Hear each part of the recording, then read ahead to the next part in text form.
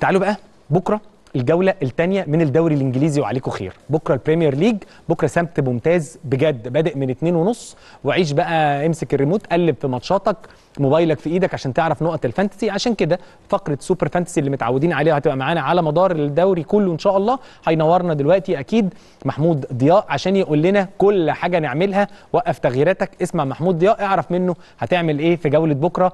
محمود ضياء يا محمود مساء الفل والجمال عليك. مساء الفل يا اسلام. أخبارك إيه يا صديقي؟ أنت أخبارك إيه؟ كله بخير؟ كله زي الفل اولا. جبت كام نقطة الجولة اللي فاتت؟ جبت 65 على قدي الحمد طب لله. أنا جبت 71 بقى. كويسين. خلي بالك عشان أنا اللي هقدم. الفقرة دي. أنا جبت تعالى يا 71 باشا. طيب اولا؟ صلاح, كسب هالاند. صلاح كسب هالاند. آه. حلو. وبصراحة أنا بص ما بعرفش ألعب اللعبة دي أنا عندي مشكلة ما بعرفش ألعب اللعبة دي من غير محمد صلاح يعني فكرة إن صلاح مش موجود في اللعبة بت بتلخبطني فأنا تمام. وصلاح بصراحة كسب هالاند في أول جولة. طيب خلينا نقول مين أكتر لعيب شاط على الجون؟ مين أكتر لعيب عمل assist مين أكتر لعيبة بتحاول؟ لأن أنت كنت شرحت لنا في نظام البونص إن كل ما تشوط على الجون أكتر ممكن تاخد بونص أكتر. فسريعا خلي الناس تعرف مين اللعيبة اللي بتروح للجون كتير. طيب. خليني أقول لك فعلا إن الكلام ده بتاع البونص ده ظهر قوي في أول جولة. الفرق ما بين لعيبة الوسط والمهاجمين والمدافعين. لو ما طلعش clean sheet بيبقى كبير قوي. فالمدافع اللي أنت تشتريه لو هو فرقته داخل فيها جون فهو لازم يكون بيجيب assist أو بيعمل جون قدام. أكتر لعيبة حاولوا تشوط في الجولة الأولانية الأول وكان أكتر لاعب غير محطوط في الجولة هو إيزي. كريستال بالاس سجل جون كان المفروض إن هو يتحسب بس الحكم تسرع في إن هو يصفر بدري. وعمل assist حسب offside حاول يشوط سبع مرات. بعده برونو فرنانديز ستة. ساكا وهافرتس اثنين من نجوم الجولة في أرسنال خمسة أرمسترونج في ساوثامبتون سيمينيو وتافرنير من آه، بورنموث. كل واحد فيهم خمس محاولات على الجون. برونو إيزي الاثنين كان يعني الناس اللي اشتريتهم مش محظوظين خالص كان لازم على الأقل يطلعوا بنقط أكتر من كده. أكتر لعيبة صنعت فرص في الجولة الأول طبعا كان أندرياس بريرا من من فولهام مع لعبه العدد كبير قوي من الكور الثابتة ده بيفرق كتير قوي يا يا إسلام. مع اللعيبة. مظبوط. ساكا ساكا واحد من نجوم طبعا الجولة خمسة. بالتأكيد. بيدرو بورو اللي سجل جول توتنهام الأول واللي هو في رأيي على الورق back ولكنه في الواقع بيبقى جناح وساعات. بيبقى مهاجم تاني كمان خش جوه ال 18 طول. الوقت بالظبط الجون جابه بدماغه من قلب ال 18 من قدام سولانكي. توماس بارتي أربعة أرنولد مينتيه من برايتون ده واحد من الناس اللي كان معانا في الجولة الأولانية سوبوسلاي مارتينيلي سافينيو آه، من مانشستر سيتي ومبويمو وكمان ثلاث فرص عظيم أكثر لعيبة أكثر لعيبة في الأهداف المتوقعة وده اللعيبة اللي كان ناس كتير قوي مش متوقعاها. ميتوما اللي كان من نجوم السنة اللي قبل اللي فاتت. السنة اللي فاتت رجع شوية بس رجع السنة دي هو بادئ كويس قوي. مهم. 1.12 توماس توتشيك في وسط اعتماد وست هام الكبير على الكور الثابتة. 1 0 4 برونو اللي ضيع جونين مؤكدين 100% قدام فولهام. 1 0 3 عايز أسألك سؤال عن. برونو يا ضياء معلش أنا آسف لقطع كلامك. آه برونو فرنانديز ضيع أكتر من كورة في المباراة الأولى ضد فولهام وكتب على الحسابات الشخصية بتاعته أنا بعتذر لجميع المدربين بتوع ال fantasy اللي حطوا ثقتهم فيا. السؤال هنا بيقول هل ده طبيعي إن لعيبة الكورة بتكون مهتمة قوي بالناس اللي بتجيبها في ال fantasy وبتكابتنها؟ هل ده ما يخليش اللعيب عنده ذاتية وأنانية شوية إن أنا عايز أجي الأسبوع الجاي أركز قوي إني أجيب إجوان أو أعمل assist فممكن تفرق على الفريق. هل الكلام ده بيتم مناقشته عامة في الأندية في إنجلترا يعني؟ بص هو مبدئيا اللعيبة كلها أغلب اللعيبة بتلعب fantasy. في. لعيبة كمان ال accounts بتاعتها تبقى معروفة. يعني آه، قبل الجولة الأولانية اتجاب account جوردون لاعب نيوكاسل. واتشاف إن هو مكابتن نفسه. وإن هو ان مثلا لويس هال في فرقته موجود نفس الكلام برونو محمد. صلاح نفسه مظبوط بيلعب بيلعب fantasy اللعيبة كلها بتلعب والمدربين بيعلقوا مم. وأوقات كتيرة كمان بيبقى في ناس ليها مصادر جوه أوضة اللبس يعني آه. آه. مثلا عامل غرفة الملابس بيسرب إن ياه. فلان هيبقى أساسي. آه. ده بتحصل كتير جدا. آه. وفي accounts معروفة على تويتر آه، دلوقتي بتسرب تش- ال- ال- الفرق والتشكيلات عايز أقول الرسمية.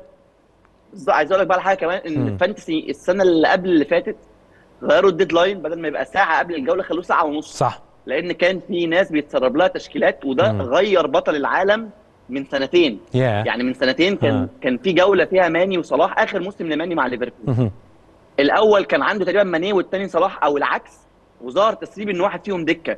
في. واحد ما لحقش التسريب فخسر البطل العالم كله والتاني مم. ده كسب. آه يعني الموضوع الموضوع فيه شغل جامد يعني و... و... والناس بتسرب فدول بيغيروا في ال deadline يعني. بالظبط. فالموضوع لا الموضوع واسع قوي قوي قوي في إنجلترا. طيب خليني أسألك مين أكتر ثلاث لعيبة الناس محتاجة تركز معاهم؟ لأن ال deadline بكرة الماتش الأول الساعة 2:30 مين اللعيبة اللي ممكن نركز معاهم الناس تجيبها في تجيب لهم نقط حسب سهولة ماتشاتهم الفترة الجاية؟ طيب خليني أقول لك على حاجة بس في الأول إن دومينيك سولانكي اتصاب وده أول حاجة الناس هتسال عليها مين بدايله. سولانكي. اتصاب النهارده. مظبوط. فالناس عايزة تعرف مين بدايله. في رايي إن هم ثلاث بدلاء. أول واحد هو مونيز من فولهام. okay. ده عنده ماتشات كويسة وظهر كويس قدام يونايتد وهو واحد من أهم لعيبه فرقته. okay. الثاني كريس وود من. نوتنجهام فورست. برضه سعره قليل وبيسجل ماتشاته سهلة. الناس عايزة ميزانيه أقل مم. بالظبط. عنده ماتشين جايين ورا بعض كويسين okay عندك واحد بقى من اثنين بميزانية يا إما آه، قريبة من سولانكي يا إما أعلى منه شوية هو مم. الأولاني ماتيتا فرنسا اللي هو آه، آه، كريستال راجع. لعب شوط الماتش بالظبط وهيلعب أساسي بعد كده أو لو أنت معاك فلوس زيادة يبقى كاي هافرتس من أرسنال لو أنت ما. عندكش حد من أرسنال okay بادئ كويس قوي ورغم إنه عنده ماتشات صعبة بس أرسنال هجوميا دايما فريق قوي جدا جدا صح جدا صح ده بالنسبة لسولانكي مهم. بره اللعيبة دي اللعيبة اللي لفتت النظر قوي أو اللي أنت محتاج تبص عليها اولا إمبويمو وويسا برينفورد الاثنين مع مم. بعض ظهروا كويسين قوي رغم إنهم آه هيلعبوا ليفربول الجولة اللي جاية ممكن تبص عليهم في اللي جاي بعد الجولة. اللي بعديها. ميتوما بالظبط ميتوما ومنتا من برايتون. برايتون بيعتمد بشكل كلي على الأجنحة هم جناحين مهاريين جدا قصاد بالذات دييجو دالو. منتا ممكن يكون عنده فرصة كويسة لأن دييجو دالو بيزيد كتير وأوقات بيسيب مساحات في ظهره. سافيو من مانشستر سيتي اللي هو يعني رياض محرز البرازيلي. مظبوط مظبوط. بيلعب ايبسويتش تاون في ملعب الاتحاد. ده. ماتش ممكن يكون كويس جدا جدا بالنسبة لي. فدول اللعيبة اللي ممكن تحط عينك عليهم. حلو. طب اللعيبة اللي الناس هتمشيهم أنا أعتقد إن تصدر ده سولانكي الراجل اتصاب. آه كوانسا. لعيب آه كوانسا لعيب ليفربول. طلع بعد 45 دقيقة واتقال كمان إنه اصاب اتصاب. مين أبرز الناس اللي. الناس تبعد عنهم تبعدوا عن فرقتهم؟ لأن كمان سعرهم بيقل في اللعبة. فمين تاني ممكن الناس تبيعه وتجيب مكانه؟ هو كوانسا فعلا سعره قل خلاص بالفعل آه، بقى 4 و4 مدربه اتكلم إن هو خروجه كان تكتيكي الماتش الأولاني تعرض لإصابة. هو ما كانش متوقع إن هو يكمل كتير بس يعني تحس إن قعدته دي جت بدري شوية. الناس قالت ثلاث أو أربع جولات وبعد كده يقعد. القعدة دي جت بدري زيادة شوية.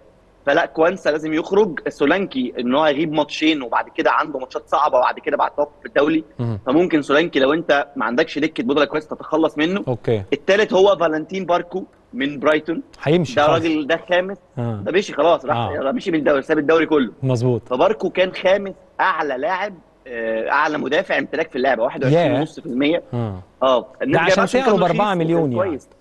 بالظبط وكان كويس في الوديات جدا. بيلعب ضربات ثابتة فالموضوع كان مغري زيادة أوكي. لكن فجأة كل ده راح مننا يعني. فخلاص باركو اللي عنده باركو محتاج يطيره كمان يعني. طيب أخيرا يا ضياء صلاح آه. هيلعب قدام برينتفورد مظبوط كده والناحية الثانية هالاند. هيلعب ضد ابسويتش تاون آه سام مرسي والفرقة بتاعته طالعين من تحت أخدوا ليفربول في مانشستر سيتي مين كابتن بالظبط. الجولة مين ترشيحاتك لكابتنة الجولة هل حد ممكن يعمل triple captain بدري قوي على إيرلينج هالاند بصراحة triple منطقي جدا على إيرلينج مم. هالاند الجولة الجاية بس خلي بالك إن إحنا في الجولة الثانية لو حصل أي شيء مفاجئ يعني صح. السنة اللي فاتت آه، سيتي كسب بورنموث ستة وهالاند جاب نقطة واحدة آه، ليفربول كسب بورنموث تسعة من سنتين وصلاح كان جاب ثلاث نقط صح فخلي بالك إن ال- ال triple captain لو باظ بدري أنت ممكن تقفل ال account عادي.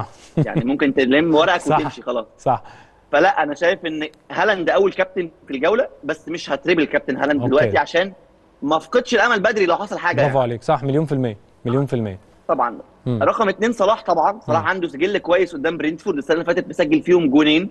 في أول ماتش. في الأنفيلد يوتا بالظبط.